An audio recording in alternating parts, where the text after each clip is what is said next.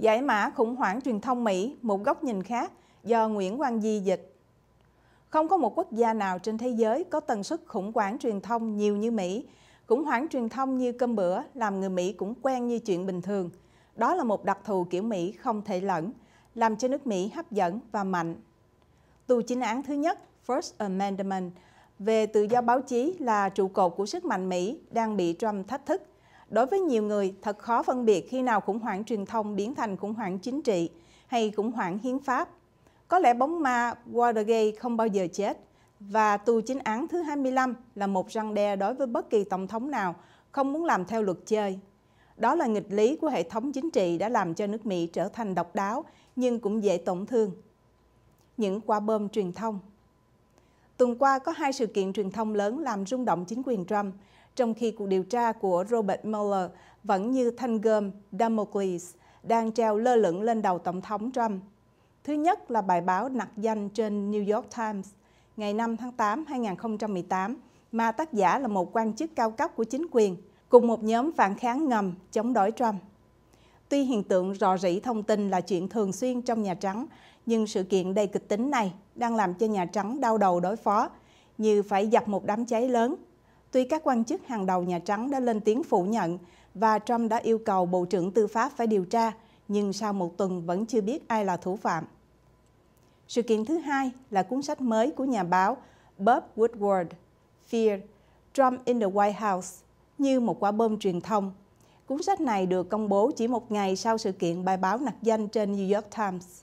Sự trùng hợp về thời điểm cũng như nội dung câu chuyện được kể làm cho đám cháy và quả bom này tai hại hơn nhiều đối với Trump khi cuộc bầu cử giữa kỳ đang tới gần.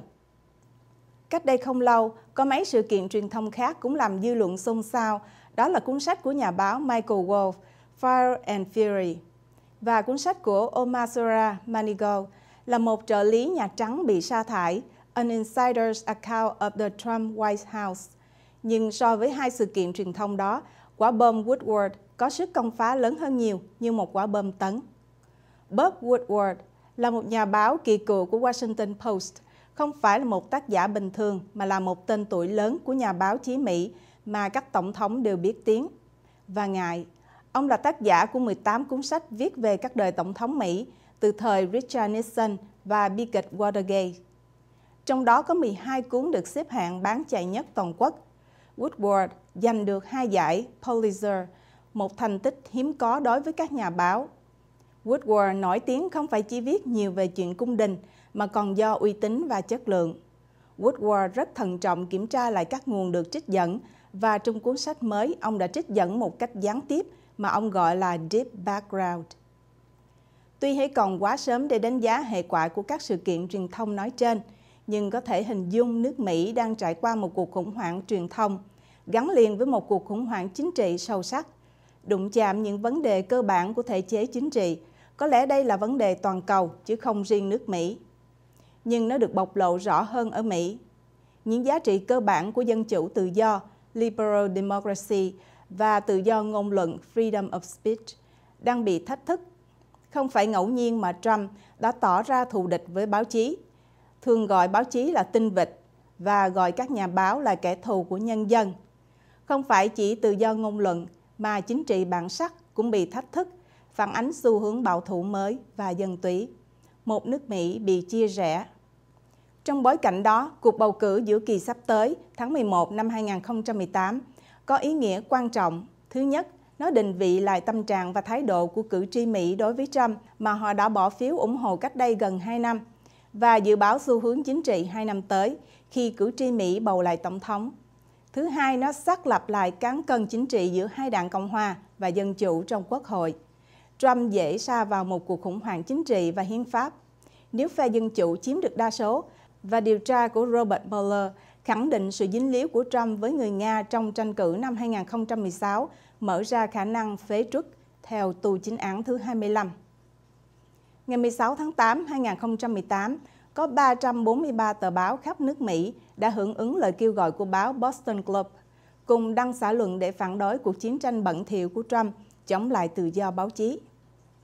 Tuy có rất nhiều báo tham gia, trong đó có những báo lớn như New York Times, nhưng cũng còn nhiều báo khác không tham gia như The Wall Street Journal.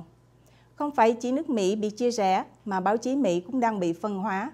Có lẽ đó là hệ quả không định trước của bầu cử tổng thống Mỹ cuối năm 2016 như một sự kiện chính trị chia ra nước Mỹ chưa từng có, làm nhiều người gọi nước Mỹ là The Divided States of America.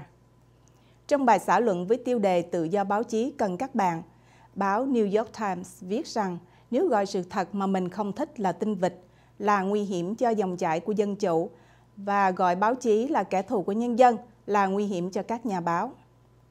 Khi gặp riêng Tổng thống Trump tháng 7 năm 2018, ông A.J. Soberger, chủ báo New York Times, đã nói ngôn từ của Tổng thống đang góp phần làm tăng nguy cơ đối với các nhà báo và dẫn đến bạo lực.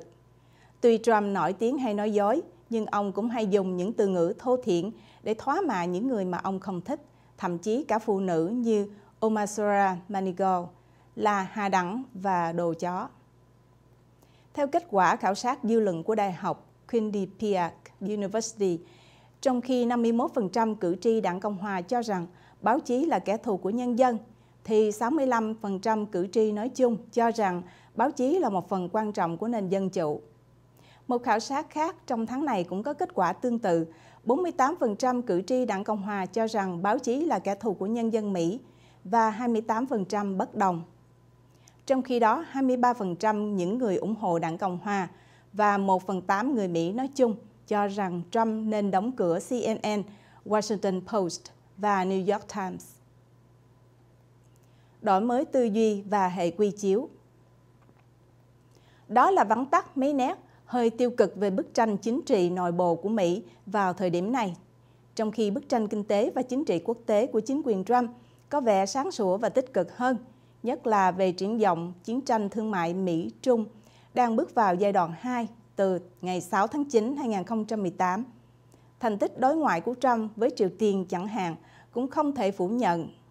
Trong số các tổng thống Mỹ còn sống, chỉ có Trump dám đối đầu với Trung Quốc, nhưng các thực tế đó chỉ bị hình ảnh tiêu cực trong nước làm lu mờ và méo mó. Đó là những khác biệt dễ nhầm lẫn cũng như tính cách bất thường, khó đoán của Trump. Vì vậy, đánh giá về Trump là một việc khó, dễ ngộ nhận và nhầm lẫn. Gần đây, quan điểm đánh giá về Trump có sự phân hóa theo hướng hơi phụ đoán, như thầy bói sờ voi. Một số người chỉ trích Trump thầm tệ, bất chấp những thành tích khó phủ nhận. Trong khi một số khác khen ông hết lời, bất chấp những bê bối khó phủ nhận. Không phải chỉ có Trump có vấn đề, mà cả những người ủng hộ hay phản đối Trump cũng vậy. Vì thế giới này không chỉ có sự thật, mà còn có nửa sự thật hay hậu sự thật.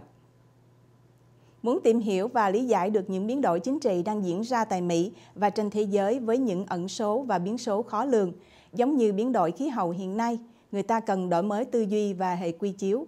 Nếu muốn hướng tới thế giới công nghệ 4.0 mà vẫn bám giữ vào hằng số tư tưởng 0.4 của thế giới cũ, người ta sẽ tiếp tục mắc kẹt vào tư duy nguyên trạng của trật tự thế giới cũ, như tù binh của quá khứ và lạc trong ma trận của trật tự thế giới mới vẫn chưa định hình, nên càng dễ ngộ nhận và nhầm lẫn. Không chỉ Mỹ và trật tự thế giới đang bị đảo điên, mà tư duy con người cũng đang bị khủng hoảng.